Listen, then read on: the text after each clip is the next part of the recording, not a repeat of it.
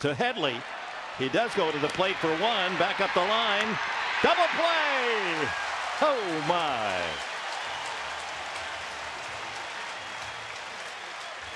Five, one, three. Pitcher's best friend has arrived early for Wade LeBlanc. Five, two, three, rather. Hey, like I said, a hot smash right at somebody. Take your chances that way. The backhand by Headley. Hey, let's play a little catch with Torrealba. Create the throwing lane down to first base. Nicely done. Thought for a moment that Torrealba was taking a little too much time. Thought, yep.